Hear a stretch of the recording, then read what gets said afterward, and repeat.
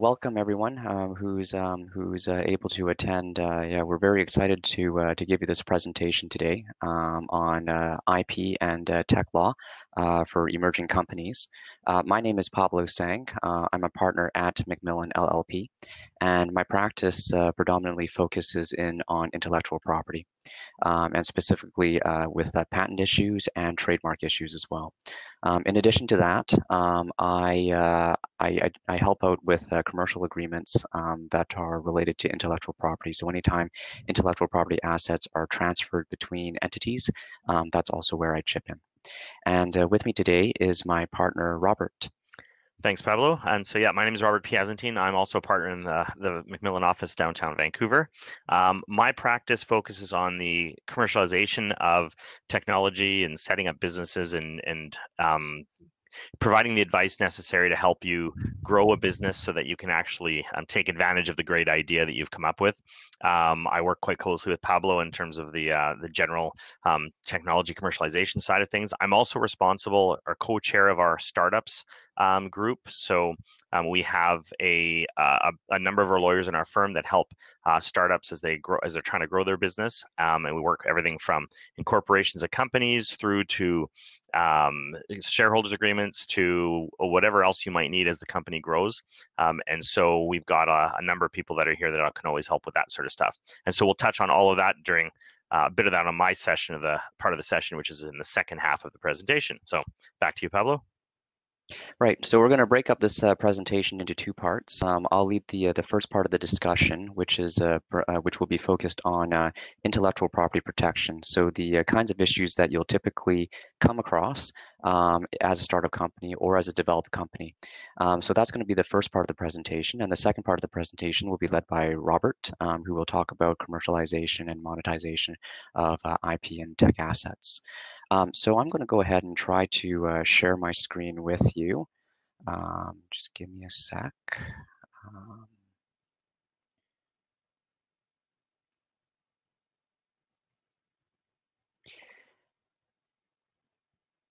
so I believe that um, my screen is now shared with you. Um, is there any way that, let's see, how do I indicate? If there's any way for anyone to indicate that uh, they can hear me or, or see the screen, that would be great.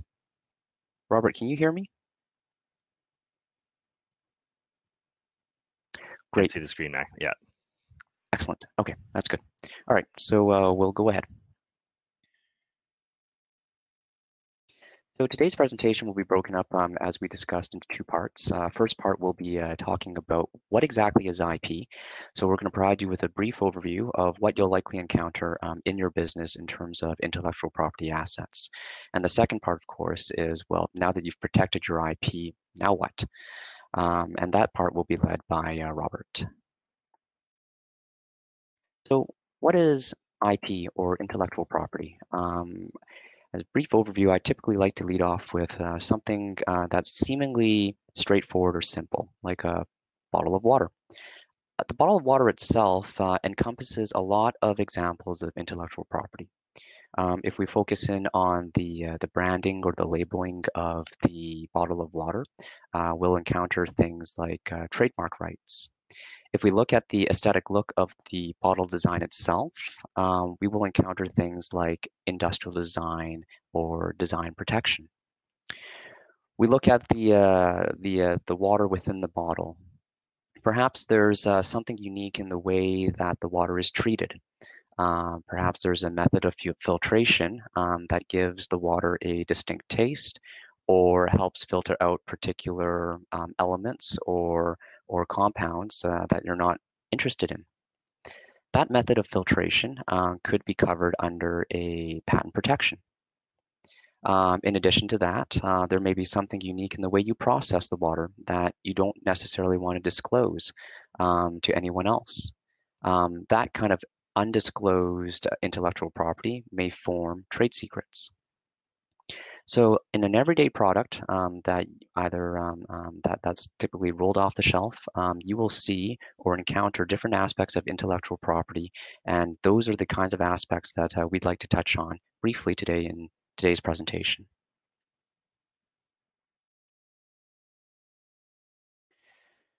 The First thing uh, I'd like to chat about is trademark law. Um, as discussed above, the uh, trademark law, as it pertains to that bottle of water, uh, focuses on the labeling of the water, how you want your bottle of water uh, to be identified to your target market. So at its core, the trademark itself serves as a source identifier, meaning that when people see the trademark, they see a link between the product and you as the source and no one else. And so anytime there's potentially a third party that might use a confusingly similar trademark, that becomes an issue from a consumer perspective because, well, now it's hard to identify what source the product is coming from. And uh, so issues of confusion also arise in trademark law. And so when selecting a trademark, something that will uh, distinguish yourself from your competitors, it's prudent to select a unique name um, and one that um, wouldn't uh, create so much confusion in the marketplace. And likewise, if there's a third party that um, uh, chooses a mark that is similar to yours, that's where you can exercise uh, a lot of your, uh, your, your, your legal rights in forcing that person to change its mark or at least amend it. Another thing to keep in mind about trademark law is that its protection or its uh, the rights in a trademark stem from continual use of the trademark, and continual use of it simply means that you know as you are in the uh, in in commerce and trading, there's no gap, uh, long period of gap where you're not using the mark and you don't intend to use it in the future. Um, and so the uh, the issue of using it um, for a long period of time is quite important in trademark law. A fourth point that's also important in trademark law right now um, is the issue of whether you are first to file or first to use. Um, it's actually a mixed bag of both. Um, in Canada, um, if you intend to use a trademark, um, but you want to reserve your rights in that mark even before you use it, it would be prudent to file um, or apply to register the trademark with the uh, Canadian Trademark Office. but that being said, uh, maybe you haven't uh, registered it or applied to register it and you're already using it in commerce. That first to use also entitles you to um, rights in the trademark already, albeit restricted to the geographical region that you're actually operating in. So um, in terms of protecting your trademark strategy, in terms of the scope of your business, um, you will likely try to balance uh, or try to you know, strike a balance between what to do, whether to file, um, and that is to apply to register the trademark, or simply just to use it in the marketplace and generate um, rights and accrue rights uh, that way and expand your um, uh, geographical scope eventually. So to your right, uh, or on the right side of the slides, are examples of trademarks that uh, McMillan LLP has applied to register. Um, so the uh, the mark you see on the top is typically the mark that um, McMillan LLP uses when it's trying to attract uh, business um, from the States. Uh, we brand ourselves as America's Canadian law firm. Um, the middle trademark that you see um, is, um, is one that you'll see quite often on McMillan branding. And the one on the bottom um, is the trademark that's used by the policy arm or the uh, government relations arm of McMillan. So as you, uh, for your business, um, uh, as it grows, uh, you may not just have one trademark. You may have, you know, um, one trademark that you know overarches the um, the the general business that you do. But from there, your business may have a series of um, trademarks that are specific to a particular aspect of your business. So if your business is broken up, say, into three or four different aspects, each of those aspects may have its own trademarks um, that you would um, likely uh, be interested in protecting. Um, and um, and so it's um, it's it's quite common for emerging companies or um, larger companies to have a large trademark portfolio that way.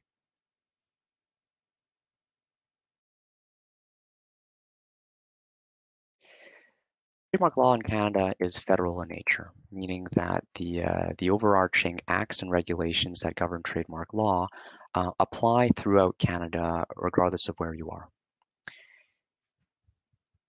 and that's important from uh, seeking, uh, particularly when you're uh, applying to register for a trademark. Uh, once you secure a trademark registration from the Canadian Trademarks Office, the rights that you have in that trademark are across the country, regardless of the geographical scope um, that you actually practice in. So um, that's one reason why some people like to apply to register for a trademark notwithstanding the fact that they might be doing the bulk of their business right now in Vancouver. They forecast that, hey, two, three, four years down the line, I'm likely going to expand across Canada. So it might be prudent for me to apply to register for a trademark now and seek those uh, national rights preemptively. Um, that being said, um, it's common for companies to stay local, um, and particularly if they're comfortable with the size of their business being local, in which case it may not be of any true value to apply to register for a trademark, particularly if you have no desire to expand the geographical scope of your business, or you really don't care what someone in Nova Scotia is doing, um, if they're even adopting the same name or mark as you.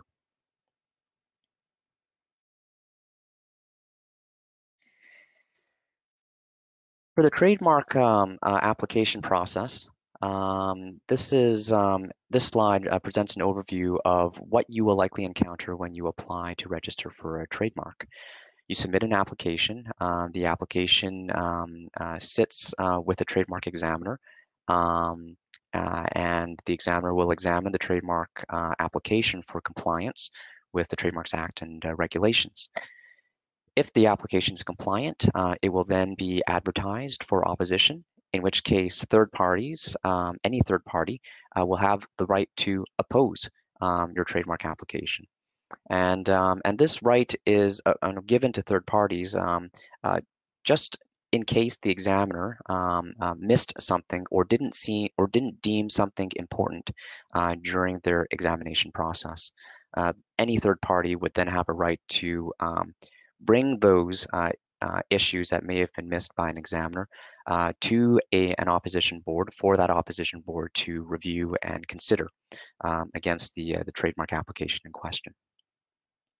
Now, if there's no opposition launched or the opposition for whatever reason fails, um, then the trademark application proceeds to allowance and then it proceeds to registration. And um, and upon registration, um, the uh, the trademark registration lasts for a period of 10 years, and then after 10 years, um, you just have to pay a renewal fee. Um, but from registration to renewal, um, there's also an assumption that you're still using the trademark. And if you're not using the trademark uh, for a period of three or more years, then the trademark registration is subject to non-use cancellation proceedings. And that's where um, uh, what I alluded to before the uh, the uh, the um, the uh, the need to continue to use the trademark post registration and throughout the course of your business is important for uh, trademark rights.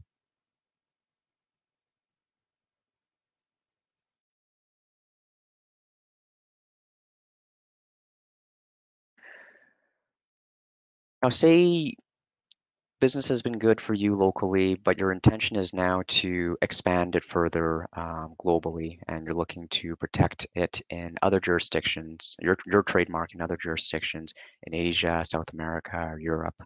Um, there are various mechanisms uh, for you to keep costs low, um, but at the same time also um, reserving your rights, um, your trademark rights in the jurisdictions that you want. Uh, one mechanism that uh, you may come across either early on in your business or later on in your business is the international trademark filing system, um, which allows you to make it's basically a one-stop shop uh, for you to submit an application to an international bureau, who uh, which will then um, help you reserve your rights in uh, jurisdictions that you want your rights reserved. Um, in order for you to crystallize your rights in the jurisdictions you, you really want to protect in, you eventually do need that application reviewed by the local authorities. Um, but there are a number of strategies that are available to you, one of them being this international trademark filing uh, system, um, that are available to you so that you can uh, effectively protect your rights um, in the manner that you wish to protect it while also keeping costs um, in check um, um, as you grow your business.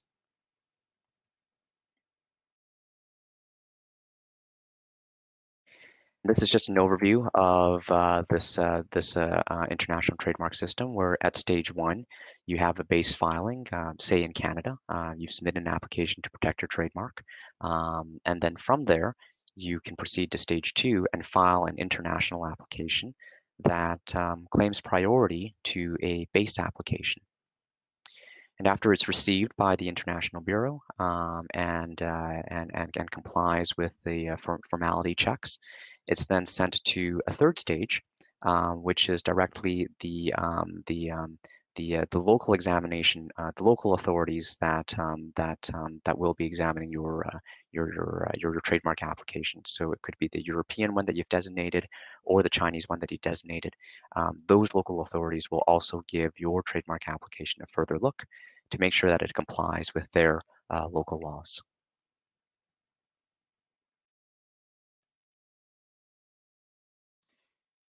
Gears to another um, intellectual property um, asset that you may come across uh, early on um, or later on uh, in your in, in your business um, is the issue of patents.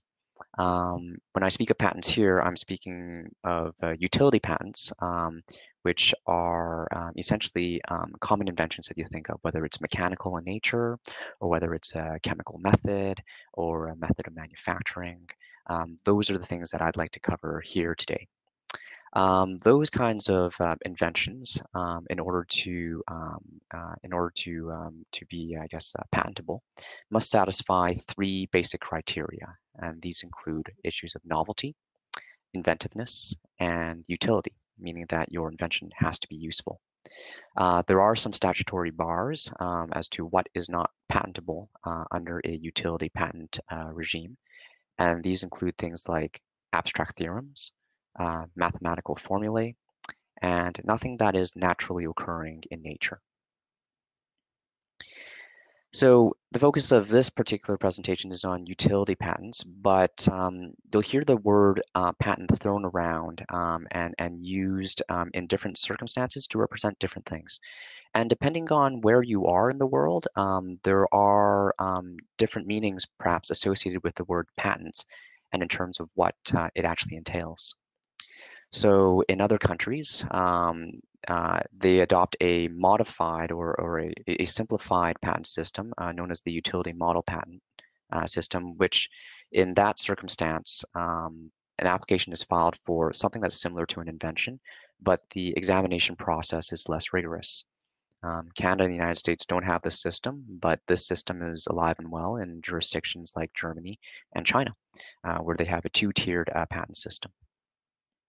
Um, in the States, you may hear uh, things like a design patent, um, which is akin to what we call in Canada an industrial design, uh, where you are only protecting the aesthetic look uh, of the product, the physical product um, that you want to protect.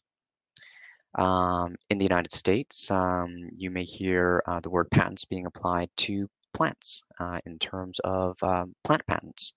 Um, but in Canada, uh, the uh, the comparable mode of protection up here is known as plant breeders' rights. So depending on where you are in the world um, and depending on what you want to refer to, the word patents uh, does attract different meanings to different people. So um, so it could be, uh, it is important to make sure that you're clear on what exactly you, uh, you want to talk about. And um, three drawings or three figures that are provided here are just examples of what is covered under a utility patent system. On your left, you have a thermal break, um, which is a device that you put in between an exterior wall and an interior wall uh, to provide insulation between the two. In the middle, you have some sort of adapter. Um, and on the uh, third, uh, the, the figure on the right, you have a pair of pants, um, which uh, presumably is something that's um, patentable there might refer to the way that the pant is hemmed, to, uh, sewn together, uh, whether there's uh, maybe perhaps an, addition, an, an, additional gusset somewhere to give the plant um, more, um, um, or to the user of the pair of pants uh, more, I don't know, uh, comfort uh, when they wear it. So those are the things that are kind of covered, or examples of things that are covered in the utility patent system.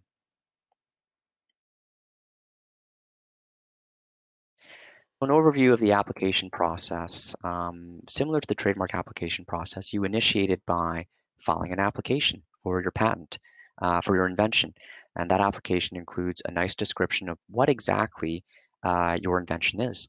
Um, after you've submitted it for uh, to a patent office, a patent examiner will review your application to see if the invention that you describe is new, inventive, and useful.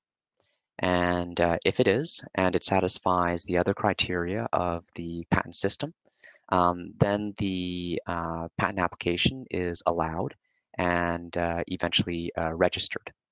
Uh, the patent protection period um, that um, if it goes to registration is 20 years from the filing date. Um, so in exchange for essentially disclosing to the world what you've invented, um, a government is willing to give you 20 years worth of protection um, in exchange for your disclosure and your teaching of the world what you've invented.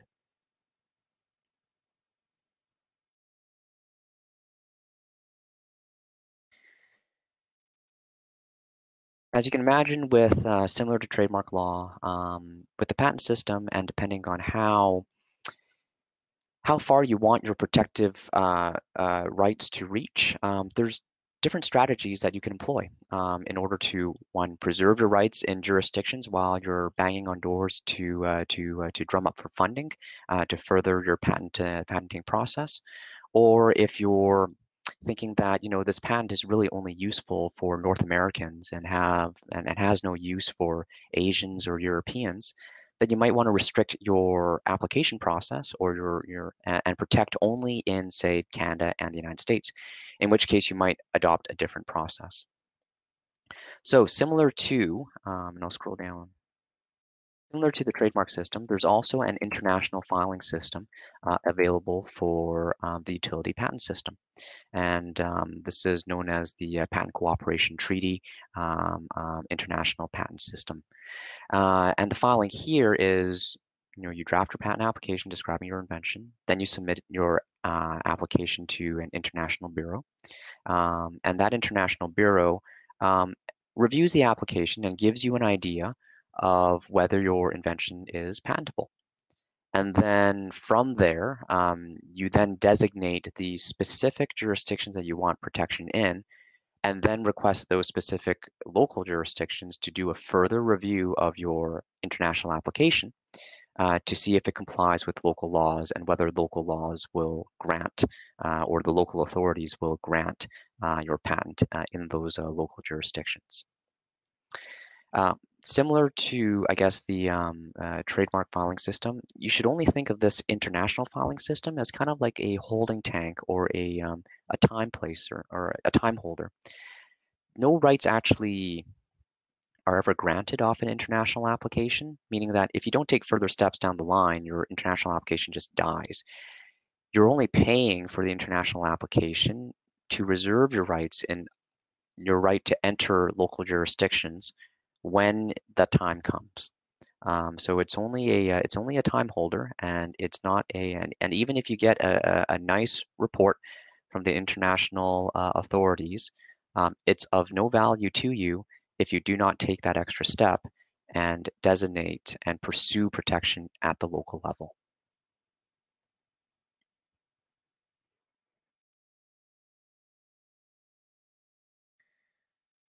A third uh, intellectual property um, um, um, aspect that I'd like to uh, chat with you about today is uh, industrial designs.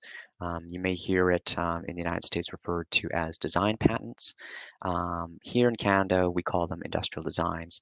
And the purpose or the focus of this um, intellectual property uh, protection system is to protect the physical look, the aesthetic um, look of your product. Um, and so it's the protection is what's essentially seen solely by the eye. Um, there's no intention to protect any utilitarian features or any methods or principles of manufacture or construction. It is purely just the look of your product. Um, and here we have some examples of what might be protectable. Um, the one on the top right um, is a luminaire holder. Uh, so one of those um, um, uh, pot lights, uh, pot light holders that, that you may have in your ceiling. Um, you can get design protection for shoes. mugs, or even wallet or phone case holders.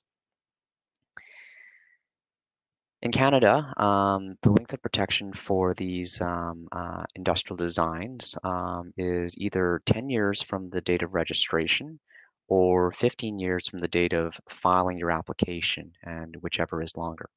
And similar to the uh, trademarks and the patent system, there's also an international system available for industrial design protection. Um, and, um, and, and that again helps you reserve your rights um, in your in, in, in, in other jurisdictions uh, before you actually have to enter uh, those local jurisdictions to determine if you know the local authorities there will actually grant you um, industrial design protection.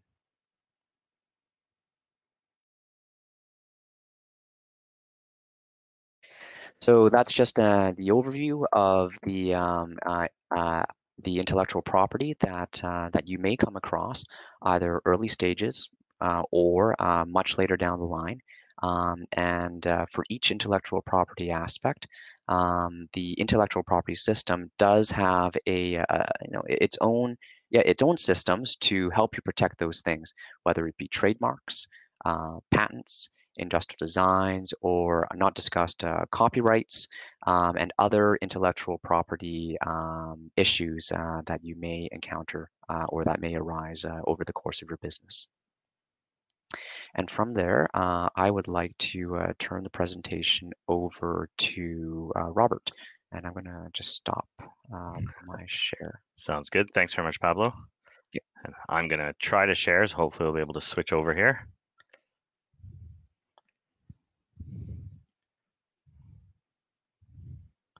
So let's see if it shows anything. And it's showing. Okay, good.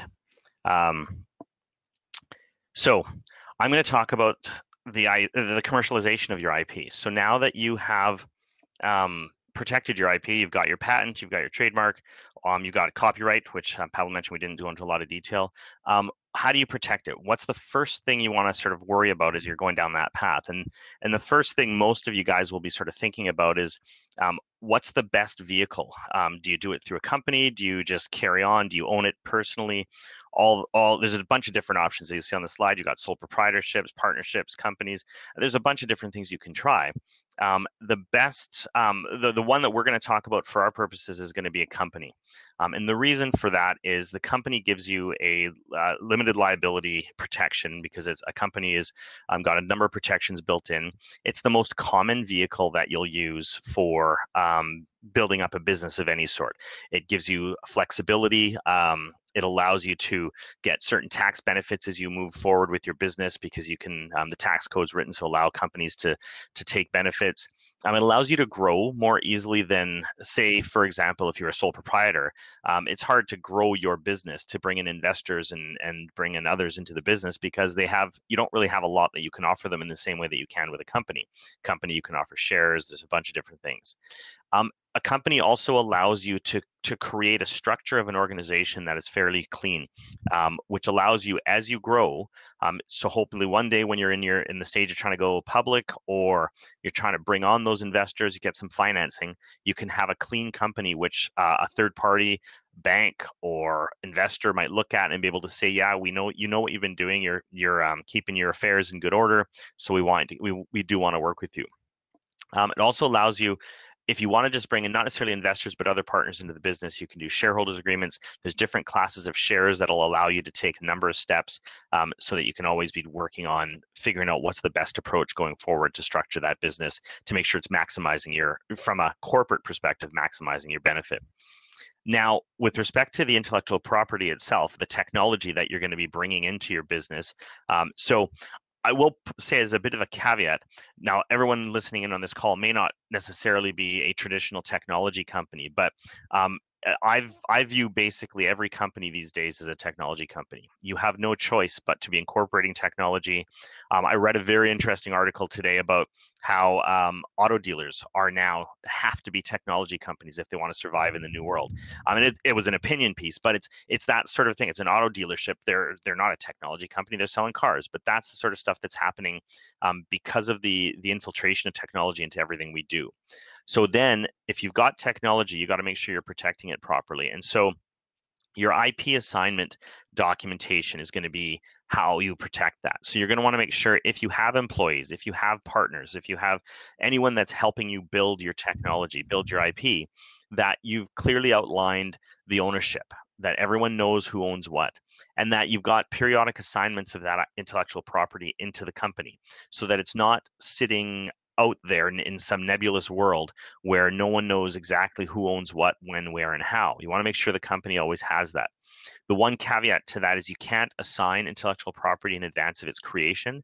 So you need to make sure that you that's why you need to make sure you do this periodically so that or at the end of a project or whatever, if something's being created so that you've got all that clearly set out.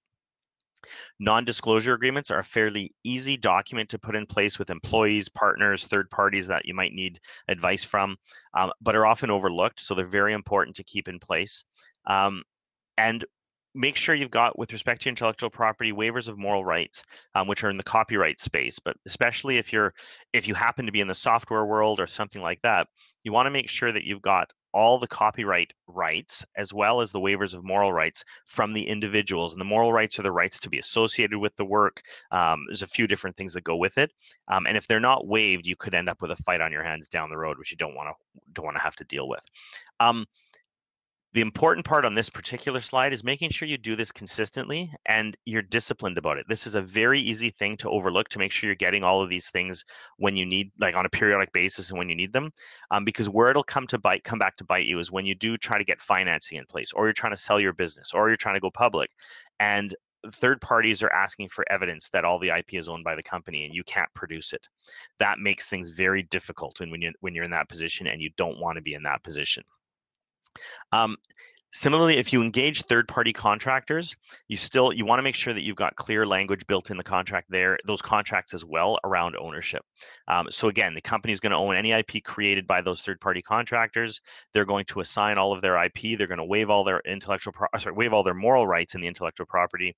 Um, if they're individuals, if they're company, they're going to secure waivers of moral rights from their employees and their workers. Um, and again, make sure you're doing it at the beginning, sorry, at the end of each project so that you've got these things on file and periodically. And again, you don't want to miss that because this is with a contractor, you're going to have a hard time getting a contractor to, to give you an, an IP assignment after the fact. Now, a lot of startup companies will use open source code in their, if especially if you're developing code related things that you're, you're, you're building some sort of a technology item that that needs um, uh, source code of any sort, you often use open source because it's free. It's out there, it's available. The, what you want to make sure you're doing on the open source side is understanding what it is that you're using and what the, the use rights and the use limitations are that go with that open source. Um, things like copyleft licenses have um, can have some very strict limitations on what you can do with that code that you're incorporating into your product. And if for some reason you're incorporating a product that has a very strict copyleft license or another type of uh, open source license that limits your ability to commercialize your IP, you're then going to be in a bit of a bind. So what you want to make sure you're looking at is what are the specific requirements and how do they actually impact your product as you go forward. Um, in a similar way, if you're actually licensing in third party software, the easiest example is if you're using Microsoft Outlook or something like that as part of your so- part of your, your business. But if you're actually licensing in something into the piece of software that you're doing, again, another example is Adobe, um, that you have um, clear understanding of what the license rights how they're spelled out and what you can and cannot do with that software um, because you don't want to get into a fight with someone like microsoft um, over software use because more often than not microsoft will win. They're they've got the ability to they've got the experience and the strength and everything to fight those things for a long time. So you don't want to get into those particular fights um, so that's something you want to keep be aware of when you're licensing in software. Um, if you're building technology that will in turn ultimately be sold to um, end users, then something else you're going to want to work on is make sure you've got a reasonable end user license agreement in place. Um, so you're going to want to consider how you're going to deliver that sort of an agreement to your end users. Um, it can be through a click wrap click wrap agreement, um, which is where you you click the I accept button. Um, someone has an opportunity to read the terms and conditions, and they can I accept. Um, you can do a browse wrap agreement where um, by simply browsing through the offering. They've got um, um, oh, sorry, my thing messed up for a sec. Uh, they've got the, uh, uh, the, the the license will then be binding on them by by the fact that they've they they browse through.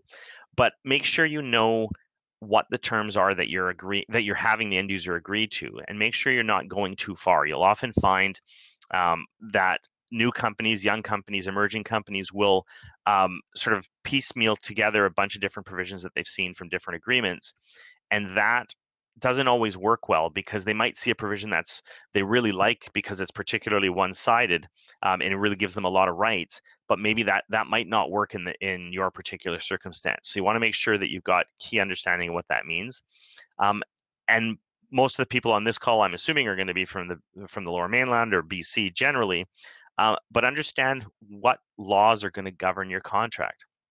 Um, if you most people here i would assume would have british columbia law govern but if you're selling products or technology globally or across the country you've got to turn your mind to whether um, british columbia law is appropriate. It might be but you have to make sure you're sort of keeping those things in mind. Um, and then the other part that's very important on the um, in your contract terms or whatever reps and warranties you're giving with respect to your product make sure you've clearly thought those out and what are your liabilities? What are your indemnification obligations and how are you limiting that liability so that you're not exceptionally at risk? Um, if you're partnering with other businesses um, either to deliver or to make the initial offering or whatever you're doing, you want to make sure that you've documented everything properly with those businesses as well.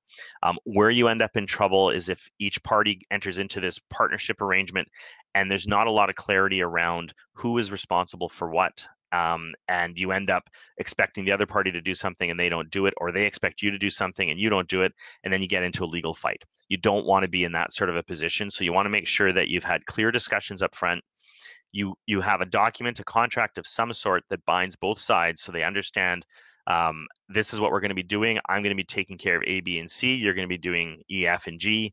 Um, if there's payment going back and forth, you're going to have all of that spelled out. And very importantly, is non-compete and non-solicit provisions. Um, so you're depending on what you're partnering to do, um, you want to be very careful that the other side isn't going to be um, taking your clients. So you're going to want to have a non-compete provision that's very clear that says they can't go out and take your business just because they're partnering with you. Similarly, with non-solicit provisions, um, many businesses, especially as you guys begin to grow, if you've got a superstar employee, you're going to want to protect him or her. Um, and a lot of businesses will come in and work with you and see, you know, this person was phenomenal. I'm going to hire that person and you if you haven't got a reasonable non-solicit non-solicit provision in your contract with them you may be stuck in that particular uh, particular situation. Um,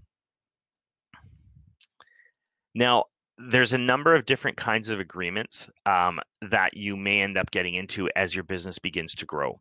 Um, so I've listed certain ones here. These are sort of more on the services side, but they can come across from any different levels. So you've got consulting agreements, outsourcing agreements, license agreements, distribution agreements, um, supply agreements, SaaS and related as a service agreements. So you're going to want to make sure you understand what all the what you need to do with your contracts and how you're going to be documenting them as you go forward. So, for example, with a consulting agreement, that's basically you're going to be providing some level of services for a third party. Um, you're going to be out there doing whatever it is the services are, and your document covers that reasonably well. An outsourcing agreement, you're taking on responsibility for a certain function or multiple functions on behalf of a third party. Um, it could be you're providing um, uh, off offsite support for their technology. Um, you know, the help desk related stuff. It doesn't matter anything like that.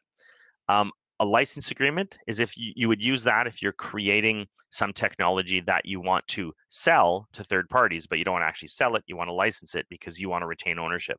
Um, and so then you would um, grant those those rights to a third party through a license agreement. And you will all have plenty of experience with license agreements. Again, using Microsoft example, um, you can't use Microsoft software without a Microsoft license agreement in place. Distribution agreements are when you you either get engaged to distribute certain products or services on behalf of a third party, or you hire someone to do that for you. Um, and that person or you will go out and find customers and and uh, actually distribute that product. Um, those are again very common sort of arrangements that you'll find in all walks of business um, across whether technology or other spaces doesn't really matter. Um, supply agreements on the same front, you're you're going to be supplying someone with uh, supplying a customer with a specific product, or you may be hiring someone to supply you with the raw materials for what you're using to, to build in your particular product. Um, and finally, on this particular thing, the SaaS agreements. Um, so if you're delivering services, um, software or otherwise through the cloud, um, you're going to be having an as a service agreement, um, which you're not necessarily licensing uh, say it's software you're not licensing it in the traditional sense. Instead you're granting access to use it in the way that it's offered through the cloud. And again it has very specific um, requirements around what you need to document in there um, but it's um, very important for for the protection of what you want to make sure you've got covered. Now the key legal terms you want to keep in mind the, they they'll be slightly different depending on the circumstances of what it is that what the nature of the contract is that you've got in front of you. Um, but at a high level, these the list of things here are some of the things that you're going to always need to pay a lot of attention to. Um, indemnification limits of liability are likely the ones that may result in the majority of any negotiation if you get into any negotiation on these terms and conditions. Usually, if you're dealing with a, a larger party as a customer or a partner, um, or it's um, someone with more leverage than you, they're going to be pushing for fairly robust indemnification obligations where you're going to be indemnifying for a lot um, and you're going to have very little in the way of limits and liability. Um, you're going to want to make sure as a business that you're only agreeing to terms that are reasonable for what you can actually accept. Now, a lot of smaller companies don't usually put a lot of uh, uh they're not that concerned about indemnification limitations of liability only because if you don't have a lot in the way of assets um, and you agree to an unlimited liability obligation in the contract, the worst that can happen is you'll lose the assets that you've got, but it's not you're not going to be losing like millions and millions of dollars or or you know there's not going to be hundreds of people out of work. But as your company grows, you want to make sure that you've got these you, you've thought these things through. And so if you're a company and you've got 100 employees, and you've agreed to an, unlimited liability obligation in a contract and something goes wrong on the contract and you're forced to indemnify and you're now on the hook for a billion dollars and your company goes under well now you are going to be out all the assets and everything which is going to be significantly more than you originally started out you know if you were in your in your parents garage and at the same time you've got 100 people who are out of work. So and that brings brings with it additional risk to you as the owner director officer of a business. So there's things like that which you need to turn your mind to um, and they're not always easy questions to resolve but they're things you have to be focused on and, and get guidance on. Um, similarly reps and warranties the way you structure your agreement and what you're providing in the way of warranties as to the services you're providing and representations to what it can do you got to be careful in how you word those provisions because those ones can come back to to cause you a lot of grief as you go through if you haven't really thought them through. And again depending on with whom you're negotiating sometimes they will ask for a lot of stuff in the way of reps and warranties and you may read it and think it doesn't really matter but then if something goes wrong you're going to be stuck because those provisions they'll be relying on those provisions from a, a risk perspective. Um, the other one the other two that i'll just touch on this slide payment provisions. If you're delivering services or products of any sort those are your those are your bread and butter. Those are the most important provisions so you want to make sure that those are extremely clear and you understand exactly how much you're going to get paid, when you're going to get paid, what limitations there might be if there's any any ability of the third party to hold back payment, anything like that, so that you have clear understanding of what the risk is. And similarly, it allows you to when you're dealing with your accountants, if you need to get an audit done, all those sorts of things, um, it allows you to be more clear with respect to recognition of revenue and all the stuff that goes with with that side of your business, which makes life a lot easier. Again, if you're if you're trying to sell your business, if you're trying to bring in a, an investor or get um, some sort of financing, if your payment provisions are all over the map and not really clear, and you've got no no real ability to demonstrate that you have an obligation to get paid, you're going to have a hell of a time finding investors or partners or banks to finance you. So that's something to keep in mind. And the last one on this slide, which I'll touch on, is the SLAs. Um, depending on the nature of what you're doing, if you're providing service levels, um, so you're going to, you know, guarantee that your um, your software will run at a certain level for, um, you know, 31 24 7 except for um, except for maintenance periods then you need to make sure you've clearly understood what your obligations are and what you're spelling out so that you don't end up being offside because they can come back again to cost you a fair amount of money if you don't um, if you don't have those things clearly spelled out.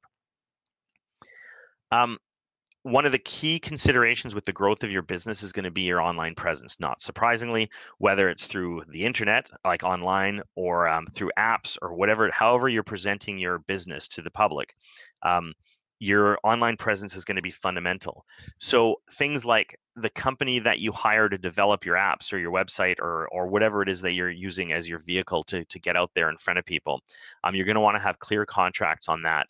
Um, clear understanding of who owns what and especially since it's your business, tying it back to um, the comments Pablo made earlier on the trademark side of things, you want to make sure that you're not inadvertently um, giving up rights to your trademarks or including provisions in those agreements that allow the the um, third party developer to start using your trademarks without your permission because that could invalidate your trademarks over time.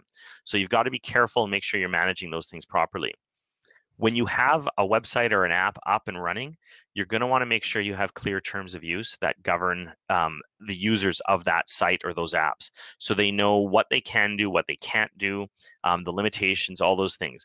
Included in there will be privacy considerations. You know, um, if you've got an e commerce functionality in your app or your website, um, there's you're going to have to make sure you're in compliance with um, payment card industry security standards, and you're going to have um, make sure you can demonstrate to the users that they their private their personal information is going to be protected.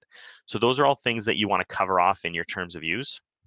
Um, if you're using a hosting provider of some sort to deliver um, whatever the services are that you're providing again you may be doing it with your with your app um, or your website. You've just got a host that's hosting that website or that app for you um, but they're processing all of your payments and all that sort of stuff. Well you're going to want to make sure you have a very clear contract in place with that organization? Do you have secure and continuous access to your data? Because that's your data and that's going to be fundamental for you to grow your business. But if you can't access that, you're going to be in trouble. What are the SLAs related to that business with respect to their um, how how often they're going to be down? Will they guarantee that their website will be up, you know, 24 seven, um, 365 days a year, or or like what are the limitations?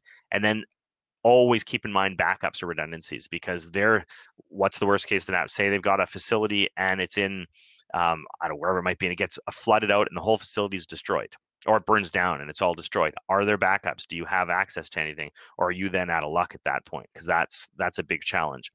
Um, and always try to do a security audit or have an, have the right to conduct security audits to make sure that the information that they're storing or hosting for you or processing for you um, is is secure and that um, you can demonstrate to your customers that their information is secure because you're the one who will bear the brunt of any bad PR if there's a breach.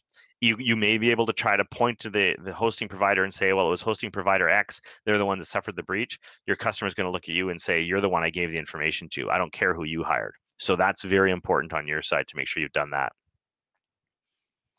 Um, on the data privacy and security side of things, um, I'll, I'll, do a quick plug really quickly. Um, one of our colleagues, um, Grace, uh, Grace is going to be giving a talk in a couple of days on Wednesday.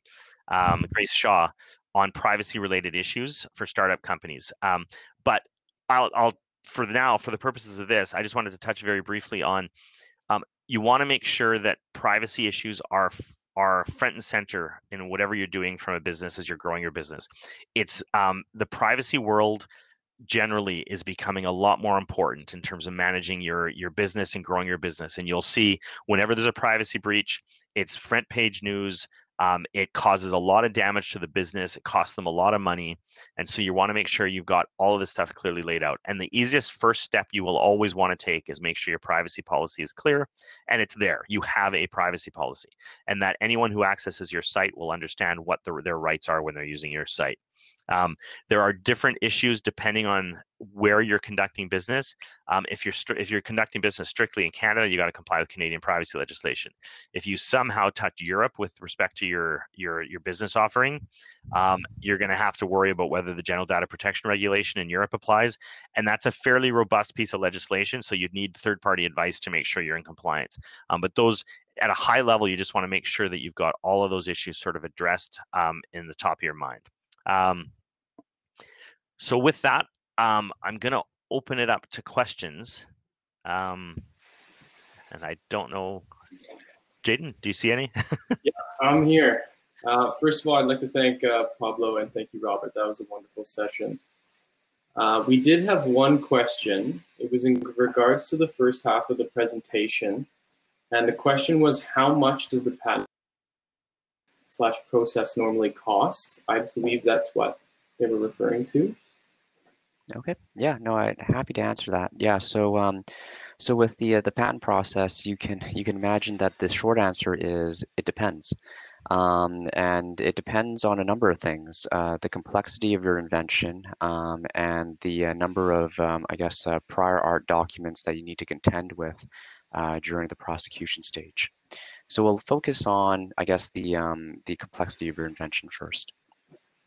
When you're drafting a patent application, um, think of it as a technical manual that goes into detail exactly what your invention is and how your invention functions. So you want to describe it in words and in, in addition to that, supplement it with figures uh, to support exactly what you're doing. So you can imagine that such documents can get lengthy very quickly, particularly for a complex invention. Um, and the amount of time that's needed to draft the application and to really hone in on what the inventive aspect is, is the amount that you actually play the patent or pay the patent agent to do. Um, so I'll give you a rough estimate. Um, typically, for a very simple um, invention, like a simple mechanical device, it, it's not uncommon for it to cost around seven to ten thousand dollars to draft. Uh, for a more complex invention, it can easily exceed 15k, uh, and for uh, very complex ones that do require a lot of detail, um, you're looking at close to 30. And that's just for the drafting. The next step of it is, of course, the prosecution of the application, which is the back and forth with the patent office that you need to have. So the patent office can really throw anything at you um, that they think a skilled person in the art would know. Um, and so they might cite six documents against you, in which case you would have to rebut against each of those documents and explain why your invention is novel, inventive, and over those documents. Um, and uh, and that kind of back and forth is really a black box that people don't quote on. Um, for just for the reasons of it's it's dangerous for me to quote you ten thousand dollars when in fact the work itself could cost forty k. Um, I'd be out of pocket thirty k. So uh, so to give you a good range, uh, an idea, um, typically I'd say earmark like at least $40,000 for a proper application and to see it through. And don't even, uh, but don't, don't, uh, don't hang your hat on, on the 40K because it can easily exceed it depending on what the examiner throws at you. Um, so, uh, so it is an expensive process, and that's why there are strategies for you to drag out um, the application process so that you have enough funds um, in your war chest to um, to do battle uh, with the patent examiner if you need to. Great. We look like we have two more questions coming in. Um, I don't know if you can read those, Robert, um, or I can I read that, that one out loud. Yeah. Yeah. No, I saw that one. Um, so the I will read it out quickly. It was just I heard IP is either very expensive to set up well, otherwise it'll be costly with more funded companies finding loopholes, and that it's better to rush to market. What are your thoughts on this? Um, it's a difficult question to answer because it depends entirely on what the IP is and what it is that you're developing. Um, rushing to market in some cases can can get you sort of your foot in the door to protect something before someone else um, is out there and then it give, might give you some time to actually refine your product um, and you know make sure you've got all the protections sort of going back to what pablo was mentioning around patent protections if you're able to get a patent for something um, you've got it you've got it to a degree um, refined enough to a degree that you can get a patent then that might give you some level of protection um, but it also it's finding that general balance between making sure what you're going to market with is actually going to be worthwhile and someone's going to actually want to be able to you know if you go to market with a piece of software just to get just to be the first one out there but it's filled with bugs um, and you've got a whole bunch of problems every time anyone's using it, you're not going to have a lot. Your your reputation is going to be hit hard, and you're not going to have a lot of success with that product, even though you were the first to market. And then you'll have the other guys, the bigger guys, coming by and seeing, well, that's a great idea. Let's fix it up and and get it out there. So it's a tough one. Um, you you want to try to find that balance between being quick but being um, you know efficient and going out there with a quality product. So um, not necessarily the perfect answer to the question there, uh, Sabian, but um, I think that's kind of how you would normally approach it. And then it looks like we have two more questions come in as well. Um, I'll go ahead and read this um, one. If, would you like to answer both these two? I think we still have four minutes. Yeah. Happy okay. to. So the next question is, is my invention patentable if it solves an old problem by using my newly developed mathematical equation? So the uh, the um, the newly developed mathematical equation is an interesting one um, because it's one of those like did it already exist in nature and you just merely found what already existed in nature? Um, and so the mathematical equation itself, I'd be hesitant to think that you'd be able to patent that equation by itself, simply because it's a discovery. You can treat it as a discovery of something that's already known, or that's or that not already known, but already exists um, in nature. Um, the, um, uh, the the mathematical description, um, notwithstanding the fact that um, that uh, you recently figured it out, um, can be seen from an examiner as something that's existed, um, notwithstanding the fact that we didn't know about it. So the next question, of course, is what does this mathematical equation actually do? So um, depending on what country you're in, um, um, and, and I say this because different countries have different thresholds of patentability. Depending on what country you're in, um, they might look at aspects where um, there's a, a, tangible thing that you're actually doing that uh, this mathematical equation does. Uh, it, it affects a tangible change that that creates you know uh, an outcome that you otherwise can't you know get at. Um, that in itself, then in that instance, then perhaps it is patentable. So um, long story short, I guess in this case is we, and it's probably not the answer that satisfies you the most, but yes, you do need to sit down um, with, um, with, with someone who does patents, um, uh, where they can walk through the details of what exactly you've done uh, in terms of uh, your mathematical equation, what it does, and, and and how it actually solves an old problem. But uh, just from the question itself, um, it, it, it, it's um, it's hard to give you a yep, yes, or no answer. And even when you sit down with a patent agent, they will probably give you an answer with a lot of caveats because that's the kind of stuff that uh, that does play in the gray zone for um, for a lot of people.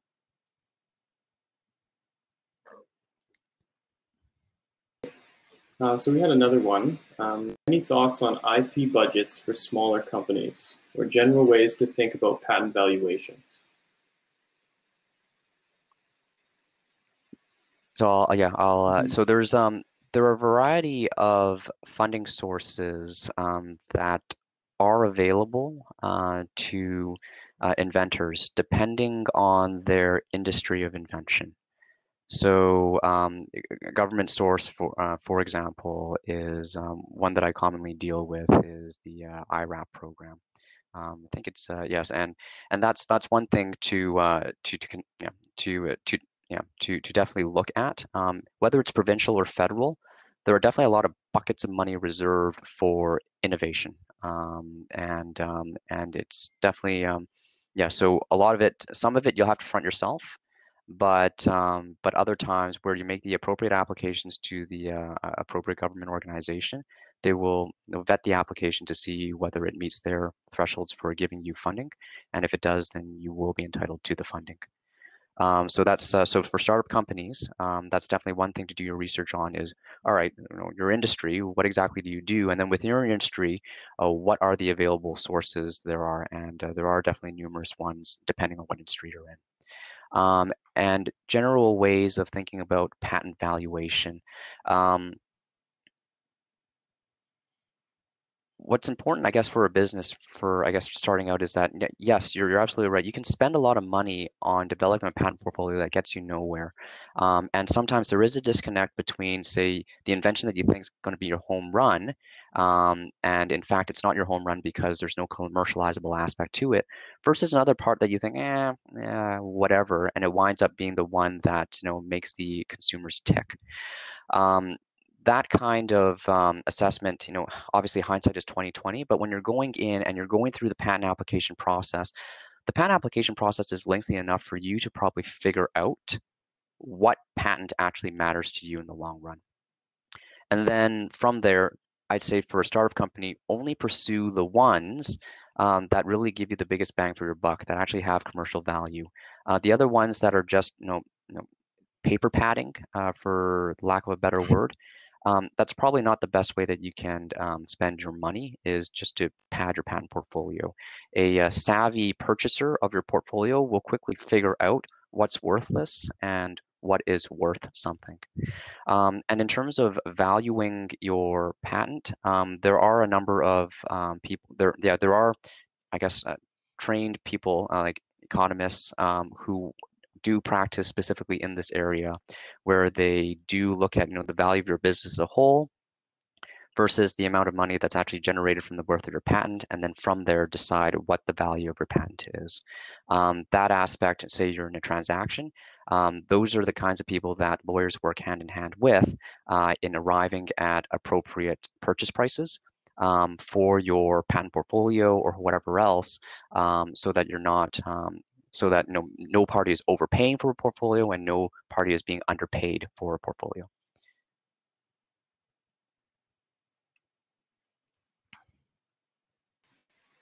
Great. So we can have the opportunity to move this to the expo if we would like to have some more questions answered.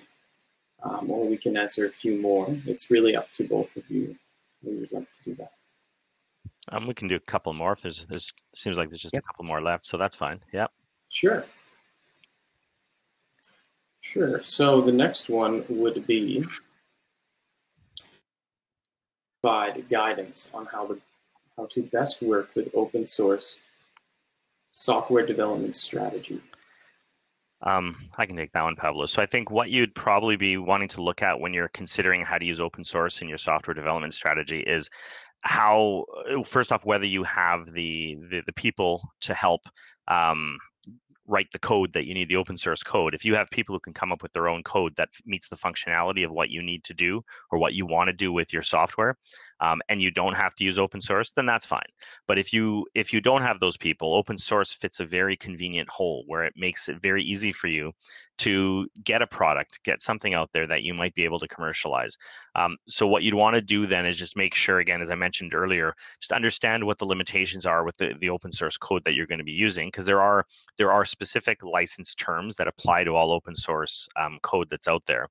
Um, and then um, you build that into your code. But in in release one or whatever you know your very first release that you're doing, um, you may use it. But then as you begin to um, refine your product and maybe you're you're starting to grow your business, you may realize that maybe that code, because of the terms on it, has some limitations on on how you want to develop your business um, that at that point you may want to start considering whether you're going to write your own code.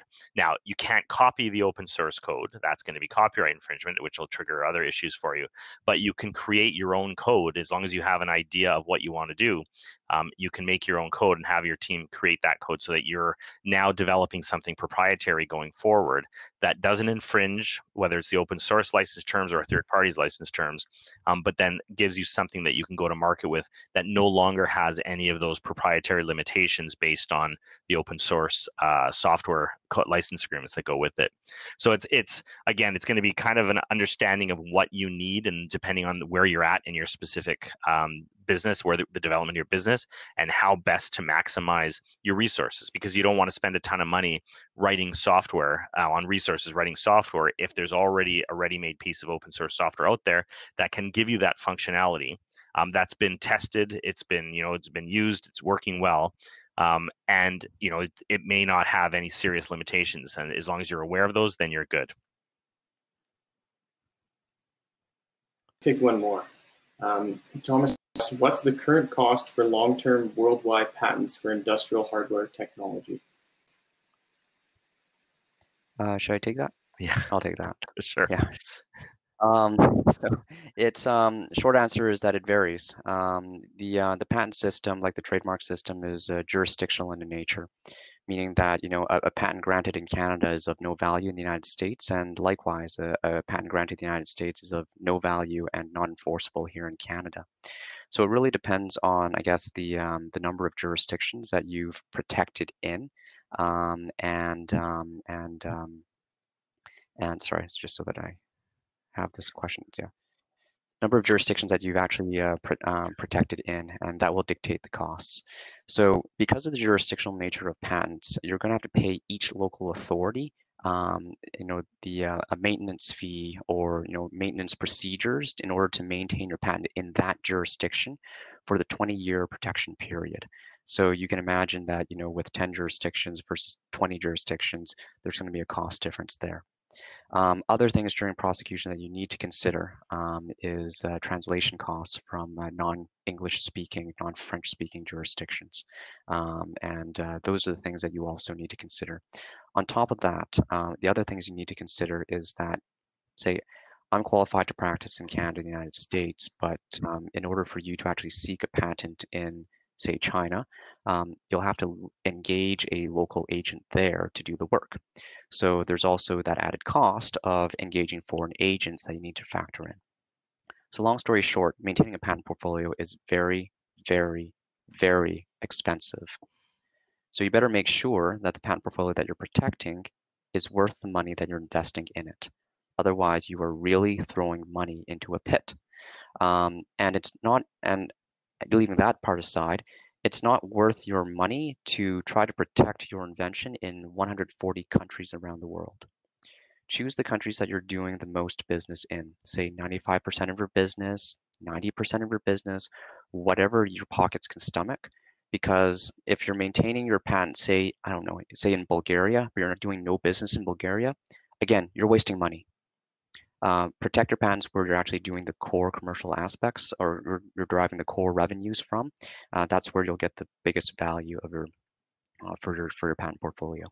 Um, but um, but yeah, uh, it's uh, it can be very expensive. And when I say expensive, over the course of the 20 years, it's it's pretty easy for you to sink millions into a patent portfolio in terms of protection um, if uh, if you do cover you know a wide number of jurisdictions. Or if you keep it slim, then sure you can keep it you know on the order of hundreds of thousands of dollars.